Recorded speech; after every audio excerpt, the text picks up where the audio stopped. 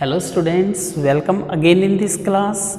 Today I am going to start a very important topic in English, narration, जिसे हम speech topic के नाम से भी जानते हैं नरेशन का मतलब होता है वर्णन हम किसी घटना का वर्णन दो तरीके से कर सकते हैं या तो डायरेक्ट स्पीच से या इनडायरेक्ट स्पीच से यदि हम किसी घटना का वर्णन करने के लिए स्पीकर के शब्दों का एज इट इज़ यूज़ करते हैं तो उसे हम डायरेक्ट स्पीच कहते हैं।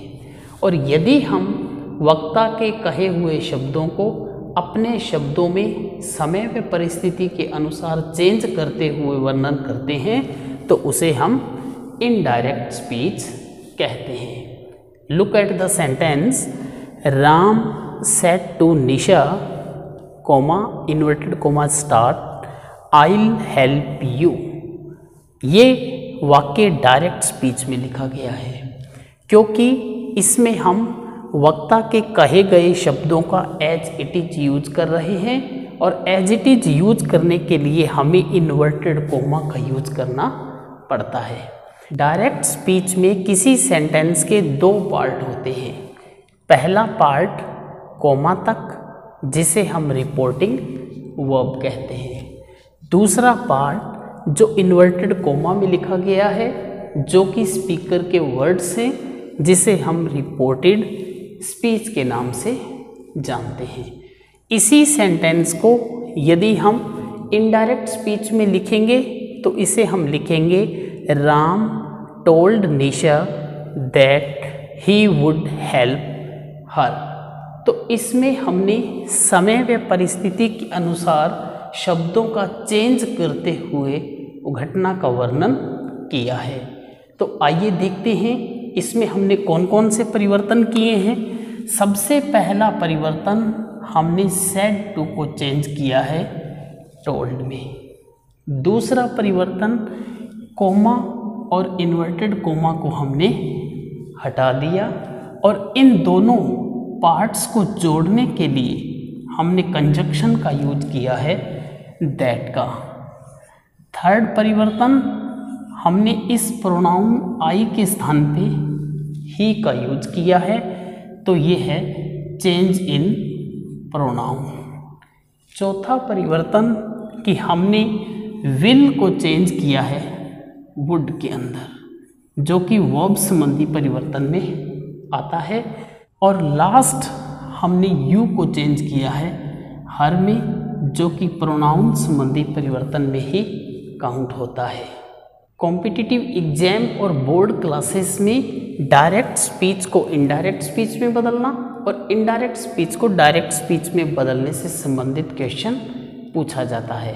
तो आइए सीखते हैं पहले डायरेक्ट स्पीच से किस तरह से हम सेंटेंस को इनडायरेक्ट स्पीच में चेंज करते हैं।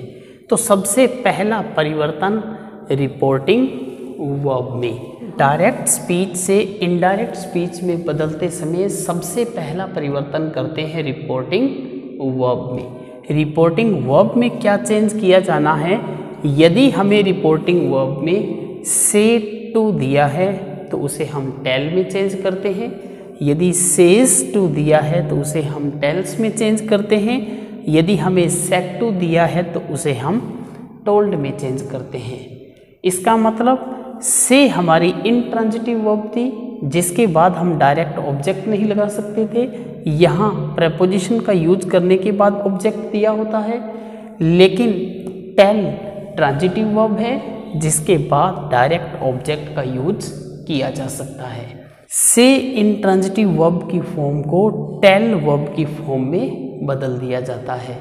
लेकिन ये परिवर्तन तभी करना है जब हमें से के साथ प्रपोजिशन के बाद कोई ऑब्जेक्ट दिया होता है। बिना ऑब्जेक्ट हम टेल फॉर्म का यूज़ नहीं करते।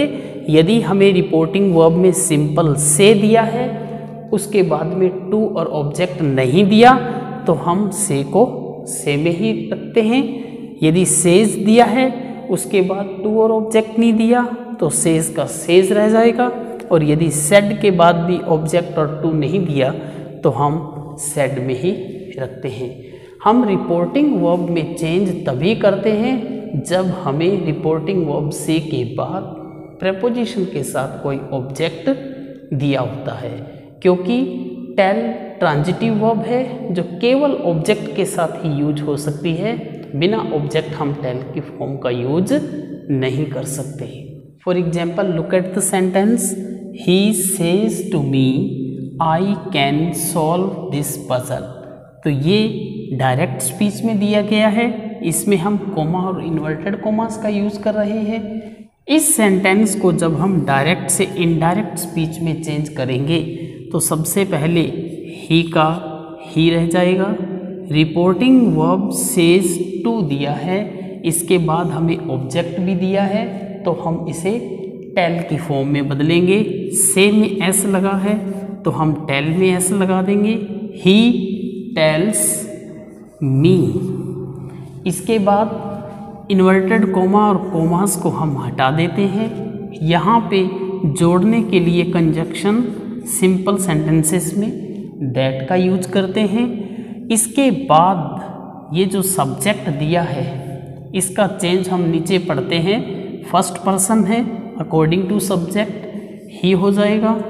इसके बाद वर्ब में चेंज नहीं होगा, क्योंकि हमें रिपोर्टिंग वर्ब प्रेजेंट टेंस में दी है। वर्ब में चेंज तभी करते हैं, जब यहाँ रिपोर्टिंग वर्ब में हमें पास टेंस की वर्ब फॉर्म दी होती है। That he can solve that puzzle ये था डायरेक्ट से इनडायरेक्ट स्पीच बनाते समय रिपोर्टिंग वर्ब में परिवर्तन, जो हम सिंपल सेंटेंस में करते हैं।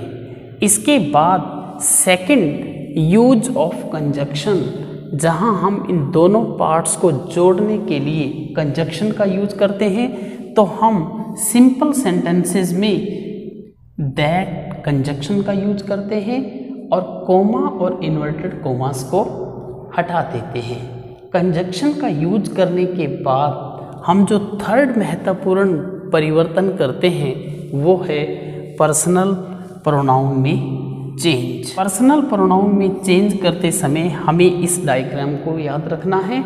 One, two, three upon son. One means first person pronoun यदि हमें रिपोर्टेड स्पीच में कोई फ़र्स्ट पर्सन प्रोनाउन दिया है तो उसको हम रिपोर्टिंग वर्ब के सब्जेक्ट के अनुसार चेंज करते हैं। यदि रिपोर्टेड स्पीच में हमें कोई सेकंड पर्सन प्रोनाउन दिया है तो उसे हम रिपोर्टिंग वर्ब के ऑब्जेक्ट के अनुसार चेंज करते हैं। और यदि हमें रिपोर्टेड स्पीच में कोई थर्ड पर्सन प्रोनाउन दिया है तो उसे हम चेंज नहीं करते। एन मीन्स नो चेंज तो इस तरह से first person pronoun reporting verb के सब्जेक्ट के अनुसार second person pronoun reporting verb के ऑब्जेक्ट के अनुसार और थर्ड पर्सन प्रोनाउन कभी चेंज नहीं होते। आइए देखते हैं हम पर्सनल प्रोनाउन की टेबल को। हमारे पास इंग्लिश में दो फ़र्स्ट पर्सन होते हैं आई एंड वी इसकी तीन फॉर्म देखते हैं आई माई मी वी आवर अस इसी तरह से second person you your you single ही है इंग्लिश में. Third person he his him she her her it its it they them personal pronoun में चेंज करते समय एक बात ध्यान रखनी है कि हम प्रोनाउन की सेम केस का यूज़ करते हैं। यदि हमें प्रोनाउन नोमिनेटिव केस सब्जेक्ट की फॉर्म में दिया है तो हम उसे चेंज करते हुए नोमिनेटिव केस में ही लिखेंगे। और यदि हमें पजेसिव केस में दिया है तो हम उसे चेंज करके पजेसिव केस में ही लिखेंगे। और यदि हमें एक्यूजेटिव ऑब्जेक्ट फॉर्म में दिया है तो हम उसको चेंज करते हुए ऑब्जेक्ट की फॉर्म में ही लिखते हैं। पर्सनल प्रोनाउन के इस चेंज को समझते हैं हम एक एग्ज़ाम्पल की हेल्प से। जैसे कि हमें एक सेंटेंस दिया है, Manish said to Sarita I have return your pen direct speech का ये सेंटेंस है कोमा और इन्वर्टेड कोमास के यूज़ में लिखा गया है। जब इसे हम इनडायरेक्ट स्पीच में चेंज करेंगे तो सबसे पहले मनीष सेट टू दिया है ऑब्जेक्ट दिया है सेट टू चेंज हो जाएगा। टोल्ड में सिंपल सेंटेंस है। इसके बाद object Sarita comma inverted commas हट जाएँगे। इसके बाद हम कंजक्शन का यूज़ करेंगे। दैट अब हमें सबसे पहले फ़र्स्ट पर्सन दिया है I first person reporting verb के सब्जेक्ट के अनुसार चेंज होगा। और रिपोर्टिंग वर्ब का सब्जेक्ट हमारे पास में है मनीष। एक मेल नेम है। मेल नेम के लिए हम यूज़ करते हैं ही का। और यहाँ पे हम यूज़ करेंगे ही आई के अकॉर्डिंग यहाँ हम यूज़ कर रहे थे हैव हैव प्लस वर्ब की थर्ड फॉर्म यदि रिपोर्टिंग वर्ब पास्ट टेंस में दी है तो हैड प्लस वर्ब की थर्ड फॉर्म में चेंज हो जाती है। हम यहाँ लिखेंगे ही हैड रिटर्न नेक्स्ट हमें दोबारा से पर्सनल प्रोनाउन दिया है। ये पर्सनल प्रोनाउन सेकंड पर्सन है। तो इसको हम रिपोर्टिंग वर्ब के ऑब्जेक्ट के अनुसार चेंज करेंगे। तो यहाँ पे रिपोर्टिंग वर्ब का ऑब्जेक्ट है सरिता। सरिता चूँकि एक फीमेल का नेम है फीमेल के लिए हम यूज़ करते हैं शी लेकिन यहाँ योर पजेसिव केस में दिया है तो हम शी का पजेसिव केस हर यूज़ करेंगे। रिटर्न हर पेन तो इस तरह पर्सनल प्रोनाउन का चेंज करते समय हम डायरेक्ट स्पीच से इनडायरेक्ट स्पीच बना सकते हैं। यदि हमें कोई पर्सनल प्रोनाउन थर्ड पर्सन का दिया है तो उसमें हमें कोई चेंज नहीं करना। अब हम सीखते हैं चौथा महत्वपूर्ण परिवर्तन, जो हमें डायरेक्ट से इनडायरेक्ट सेंटेंस बनाते समय करना है। टेंस संबंधी परिवर्तन वर्ब की फॉर्म में चेंज लेकिन ये ध्यान रखने वाली बात है कि टेंस संबंधी परिवर्तन हम तभी करते हैं जब हमें रिपोर्टिंग वर्ब पास्ट टेंस में दी है, क्योंकि सीक्वेंस ऑफ़ टेंस के नियम के तहत हम पास्ट टेंस के बाद केवल पास्ट टेंस का ही यूज़ कर सकते हैं और किसी दूसरे टेंस का यूज़ नहीं कर सकते। यदि हमें रिपोर्टिंग वर्ब में प्रेजेंट टेंस दिया है तो हम रिपोर्टेड स्पीच के टेंस में कोई परिवर्तन नहीं करते। यदि हमें रिपोर्टिंग वर्ब में फ्यूचर टेंस दिया है तो भी हम रिपोर्टेड स्पीच के टेंस में कोई परिवर्तन नहीं करते। लेकिन यदि हमें रिपोर्टिंग वर्ब में पास्ट टेंस दिया है और वो सेंटेंस यूनिवर्सल ट्रुथ नहीं है, सार्वभौमिक सत्य नहीं है तो हम इस टेबल के अनुसार टेंस संबंधी चेंज करते हैं। तो देखते हैं सबसे पहला प्रेजेंट इंडेफिनेट टेंस यदि हमें दिया है रिपोर्टिंग वो पास्ट टेंस की आ जाती है सेंटेंस यूनिवर्सल ट्रुथ नहीं है।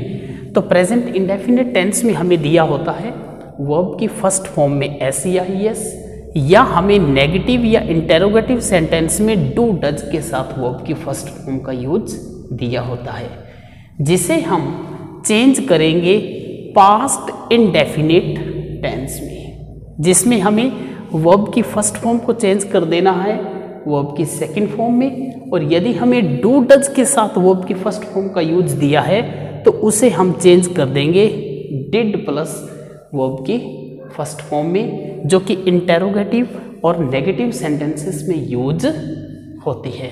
डायरेक्ट से इनडायरेक्ट स्पीच बनाते समय प्रेजेंट के चारों टेंस पास्ट के चारों टेंसेस में चेंज हो जाते हैं। सेकंड, यदि हमें प्रेजेंट कंटिन्यूस टेंस दिया है और रिपोर्टिंग वो पास्ट टेंस की दी है तो उसमें हमें दिया होगा is, am, are, first form of the verb with I N G.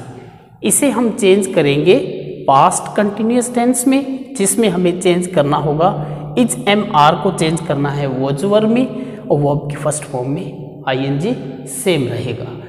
Third tense संबंधी परिवर्तन प्रेजेंट परफेक्ट टेंस यदि हमें दिया है, जिसमें हमें हैज़ हैव के साथ वर्ब की थर्ड फॉर्म दी होती है, इसे हम चेंज करते हैं पास्ट परफेक्ट टेंस में, जिसमें हम यूज़ करते हैं हैज़ हैव की जगह हैड प्लस वर्ब की थर्ड फॉर्म यदि हमें fourth tense present perfect continuous tense में दिया होता है has have been first form of the verb with ING इसको हम चेंज करेंगे पास्ट परफेक्ट कंटिन्यूस टेंस में, जिसमें हम यूज़ करेंगे had been first form of the verb with ING ये थे चार प्रेजेंट के टेंस के चेंज यदि हमें पास्ट इंडेफिनेट टेंस दिया हो सिंपल पास्ट टेंस दिया हो, जिसमें हमें वर्ब की सेकंड फॉर्म दी हो, या डिड के साथ वर्ब की फ़र्स्ट फॉर्म दी हो नोट या इंटेरोगेटिव वाले सेंटेंस में तो इस सिंपल पास्ट टेंस को हम पास्ट ऑफ़ पास्ट यानी पास्ट परफेक्ट टेंस में चेंज कर देंगे, जिसमें हम यूज़ करेंगे हेड के साथ वर्ब की थर्ड फॉर्म और यदि हमें पास्ट का second tense past continuous tense दिया है, जिसमें हम यूज़ करते हैं वॉज़ वर्क के साथ वर्ब की फ़र्स्ट फॉर्म में आईएनजी तो इसे हम पास्ट परफेक्ट कंटिन्यूस यानी चौथे टेंस में चेंज कर देंगे, जिसमें हम यूज़ करेंगे had been first form of the verb with I N G it mean past simple को पास्ट परफेक्ट में चेंज करना है और पास्ट कंटिन्यूस को पास्ट परफेक्ट कंटिन्यूस टेंस में चेंज करना है। ये थे हमारे टेंस संबंधी मेन चेंज इसके बाद यदि हमें विल या शेल दिया है, उसके साथ वर्ब की फ़र्स्ट फॉर्म दी है तो हम विल शेल को चेंज कर देते हैं वुड में। और यदि हमें कैन या मे दिया है तो कैन या मे चेंज हो जाता है कुड या माइट में। तो आइए इन परिवर्तन को समझते हैं एग्ज़ाम्पल की हेल्प से। जैसा कि हमें इस एग्ज़ाम्पल में एक डायरेक्ट स्पीच का सेंटेंस दिया है he said to me I completed my homework इसको जब हम इनडायरेक्ट में चेंज करेंगे तो first of all he reporting verb to दिया है ऑब्जेक्ट दी है टोल्ड में चेंज हो जाएगा। He told me inverted commas commas हट जाएँगे। इसके स्थान पे जोड़ने वाला वर्ड कंजक्शन दैट का यूज़ होगा। फ़र्स्ट पर्सन प्रोनाउन दिया है आई चेंज होगा रिपोर्टिंग वर्ब के सब्जेक्ट के अनुसार। यहाँ आ जाएगा ही कंप्लीटेड वर्ब की सेकंड फॉर्म दी है। वर्ब की सेकंड फॉर्म देने के साथ हम चेक करेंगे कि रिपोर्टिंग वर्ब भी पास्ट टेंस में है वर्ब की सेकंड फॉर्म में है। तो इस पास्ट सिंपल टेंस को हम चेंज करेंगे पास्ट परफेक्ट टेंस में। तो यहाँ हम यूज़ करेंगे हैड कंप्लीटेड नेक्स्ट प्रोनाउन दिया है माई माई फ़र्स्ट पर्सन है तो ये चेंज होगा रिपोर्टिंग वर्ब के सब्जेक्ट के अनुसार। सब्जेक्ट के अनुसार ही की पजेसिव फॉर्म बन जाएगी his homework he told me that he had completed his homework. यदि रिपोर्टिंग वर्ब पास्ट की न देके प्रेजेंट सिंपल में दी होती, यानी ही सेज टू मी दिया होता तो हम ये वर्ब संबंधी परिवर्तन नहीं करते, हम वर्ब को सेम रख देंगे ही सेज तो यहाँ बन जाएगा सेज बदल जाएगा tells me he tells me that he completed his homework हमें ये वर्ब संबंधी परिवर्तन तभी करने हैं जब हमें रिपोर्टिंग वर्ब पास्ट में दी होती है। ये थे हमारे टेंस संबंधी महत्वपूर्ण परिवर्तन जो हम डायरेक्ट स्पीच को इनडायरेक्ट स्पीच में बदलते समय करते हैं जब हमें रिपोर्टिंग वर्ब पास्ट टेंस की दी होती है। इससे पहले हमने वॉइस टॉपिक पढ़ा वॉइस टॉपिक में हम टेंस संबंधी चेंज नहीं करते, बल्कि उस टेंस के अकॉर्डिंग बी की फॉर्म का यूज़ करते हैं, उसमें टेंस चेंज नहीं होता। एक्टिव पैसिव वॉइस की वर्ब फॉर्म और डायरेक्ट इनडायरेक्ट स्पीच की वर्ब फॉर्म आप अच्छे से पढ़ लें ताकि इनमें कंफ्यूज न हो। डायरेक्ट से इनडायरेक्ट स्पीच में चेंज करते समय किया जाने वाला लास्ट और महत्वपूर्ण change change in the words showing time and place time और प्लेस को शो करने वाले वर्ड्स में परिवर्तन। जब हम डायरेक्ट स्पीच के सेंटेंस को इनडायरेक्ट स्पीच बनाते हैं तो हम नज़दीकता दिखाने वाले वर्ड्स को दूरी दिखाने वाले वर्ड्स में चेंज कर देते हैं। क्योंकि डायरेक्ट स्पीच इफ़ेक्टिव होता है, नज़दीकता को शो करता है। जबकि इनडायरेक्ट स्पीच इतना इफ़ेक्टिव नहीं होता, थोड़ा दूरी को शो करता है। तो कौन कौन से परिवर्तन करते हैं? मुख्य वर्ड्स हम यहाँ देखते हैं। पहला दिस चेंज हो जाता है दैट में। दीज चेंज हो जाता है दोज में। हियर देयर में। नाउ देन में। जस्ट भी देन में चेंज हो जाता है। इसी तरह, यदि हमें टुडे वर्ड दिया है दैट डे में चेंज करते हैं। येस्टरडे को प्रीवियस डे में चेंज करते हैं। टुमेरो नेक्स्ट डे में चेंज होता है और यदि नेक्स्ट डे हमें दिया है फॉलोइंग डे के अंदर हम चेंज कर देते हैं। इसी तरह से अगो बिफोर में चेंज होता है हाइदर दाइदर में चेंज होता है हैंस देंस में चेंज होता है और दस सो के अंदर चेंज होता है। इन वर्ड्स में परिवर्तन करते हुए हम डायरेक्ट स्पीच को इनडायरेक्ट स्पीच सेंटेंस में चेंज करते हैं। इस चेंज को समझते हैं हम एग्ज़ाम्पल से, जैसा कि हमें यहाँ दिया है he said to me I shall return tomorrow तो इस सेंटेंस को जब हम इनडायरेक्ट स्पीच में चेंज करेंगे तो सबसे पहले ही सेट टू चेंज हो जाएगा। टोल्ड मी ऑब्जेक्ट दिया है मी कोमास हटा के कंजक्शन का यूज़ करेंगे। दैट फ़र्स्ट पर्सन प्रोनाउन दिया है according to the subject change हो जाएगा. ही मी शेल दिया है, जो कि ही सब्जेक्ट के अनुसार वुड में चेंज होगा, क्योंकि रिपोर्टिंग वर्ब पास्ट की दी है. ही वुड अधिकतर विल और शेल को वुड में ही चेंज करते हैं, क्योंकि शुड एक अलग कंसेप्ट देता है. वुड के बाद हम यूज़ करेंगे वर्ब की first form return tomorrow tomorrow नज़दीकता दिखाने वाला वर्ड था. तो टुमेरो को हम चेंज कर देते हैं। नेक्स्ट डे में तो टुमेरो चेंज होगा। Next day, full stop. Next example Ramesh said to me I am reading this book तो इसको जब हम चेंज करेंगे, रमेश सेम रह जाएगा।